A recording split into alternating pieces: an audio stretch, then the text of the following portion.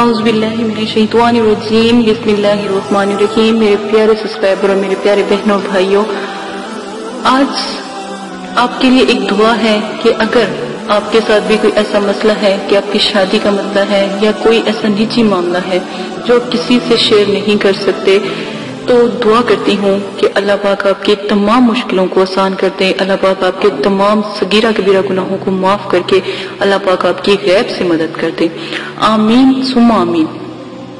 آج جو میں آپ کے ساتھ عمل پیش کرنے جا رہی ہوں، بہت ہی نایاب اور شادی کے لیے یہ عمل ہے، بہت ہی باکمال ہے۔ آپ لوگ لازمن کیجیے گا۔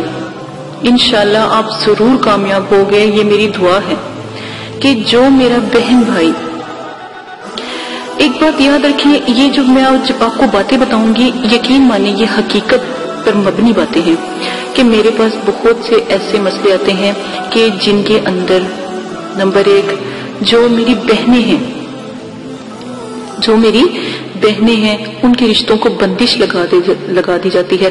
بندش کیسے لگتی ہے؟ تالے سے۔ تالے کو اوپر پڑھائی کر کے ظالم لوگ ظالم لوگ، جاہل لوگ، جو ہے پڑھائی کر کے، جو قبر ہوتی ہے، پرانی قبر، جس کو سال، دو سال بیت چکا ہو، اس کے اندر دفنا دیتے ہیں تو وہ بندش لگ جاتی ہے۔ اور کئی بہنوں کی پاؤں کی مٹی لے کر، یا کسی اس کی والدہ کے پاؤں کی مٹی لے کر، اگر کسی بیٹی کا کرنا ہو، تو والدہ کی مٹی لے کر، تو وہ بھی دفنا دی جاتی ہے۔ اور یہاں تک کہ میرے پاس ایسے ایسے مسئلے آئے ہیں کہ یقین مانے کہ لوگوں کے سر کے بال کہاں سے نائی کی دکان سے لے کر، نائی کی دکان سے لے کر بچے کے بال لے کر نائی اس اس قدر اس چیز میں انوالو ہوئے کہ ان کے بالوں سے انہوں نے جادو وغیرہ کیا۔ تو بہت بس اللہ سے دعا کرتی ہوں کہ اللہ پاک ہماری جو ہے، جو مسلمان بہن بھائی ہیں، اللہ پاک ان کو بچائیں ان چیزوں سے۔ تو اسی کے ساتھ آج جو میں آپ کے ساتھ جو بندش کی بات میں کر رہی تھی اس بندش کو توڑنے کے لیے، شادی کے رشتوں کی بندش کو توڑنے کے لیے اگر کوئی میرا بہن یا بھائی کے رشتے میں رکاوٹ ہے، یا سرے سے ہی رشتہ جو آتا ہی نہیں ہے۔ ایسی کسی نے پتھر بندش کی ہے، تالے کی بندش کی، بالوں کی بندش کی ہے، مٹی کی بندش کی ہے۔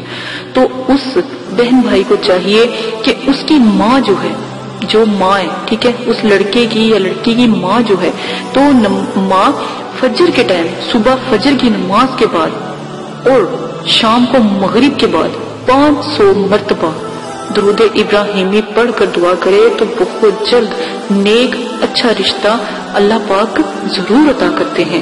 اور بہت جلدی یہ بہت جلدی عمل ان لوگوں کے ہے جو جن کے اوپر بندش ہو چکی ہو، ٹھیک ہے؟ تو وہ کاٹ کرنے کا طریقہ ہے یہ۔ اس کو کاٹ کہتے ہیں۔ ان چیزوں کی کاٹ کہتے ہیں۔ اسی کا ایک اور طریقہ بتاتی ہوں۔ خدا نخواستہ آپ کے گھر میں کسی بھی قسم کی بندش ہے، کاروبار کی بندش ہے۔ آپ کے گھر میں لڑائی، جھگڑے ایسے جیسے کسی، آپ کو پتا ہے، لڑائی، جھگڑوں کے لیے تو لوگ اتنے ظالم ہوتے ہیں قبر کی مٹی گراتے ہیں ٹھیک ہے اس پہ پڑھائی کر کے۔ تو ان چیزوں کا خیال رکھے آپ نے کیا کرنا ہے؟ وہ بندش کو توڑنے کے لیے اپنے دل میں رکھے کہ ہم نے فلاں چیز کی بندش توڑنی ہے، تو آپ درود ابراہیمی پڑھیں۔ ٹھیک ہے، جس طرح کو بتایا گیا، بالکل ویسے پڑھیں۔ تو انشاءاللہ جتنی بھی بندش ہوگی، وہ ٹوٹ جائے گی۔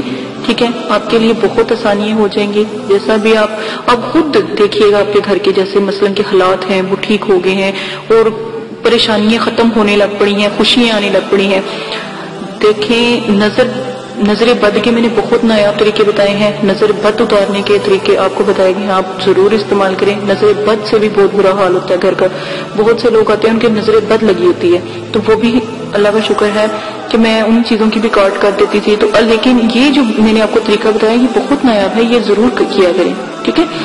اور ایک بات یاد رکھیں، یہ اس بہن بھائی کے لیے بھی ہے جو یہ چاہتے ہیں کہ ہماری ہماری مرضی کا، یا ہم چاہتے ہیں کہ ہماری مرضی سے کوئی اللہ کوئی کرم کر دے، یا میرے والدین مان جائیں، یا کوئی۔ دیکھیں، شریعت کے خلاف اگر کام نہیں کیا ہوگا نا، تو میں آپ کا ساتھ دوں گی۔ ٹھیک ہے؟ اور اگر شریعت سے بڑھ کر کام کر دیا ہے نا، پھر کبھی بھی نہیں آپ کا ساتھ دوں گی۔ ٹھیک ہے؟ تو آپ نے صرف اور صرف کیا کرنا ہے؟ جو طریقہ آپ کو، اب والدہ کو بتایا گیا ہے نا درود ابراہیمی کا، وہی طریقہ آپ اختیار کرو گے۔ آپ اختیار کرو اور وہ طریقے سے درود ابراہیمی پڑھو۔ اور دل میں تمنا رب سے کرو اور حصول یعنی کہ اپنا جو مطلب کہ دعا ہے، نبی پاک صلی اللہ علیہ وسلم کا درود پاک جاتا ہے نا، تو ان سے فرماؤ، ان سے پیش کرو کہ اللہ پاک سے دعا کریں، تو نبی پاک رضی اللہ علیہ وسلم اپنے بندے کے لیے دعا کرتے ہیں، ٹھیک ہے؟ تو وہ دعا جو کتنی عظیم ہوگی، جو رب سے اور آپ صلی اللہ علیہ وسلم کے درمیان ہوگی، تو وہ دعا جلدی قبول ہوگی۔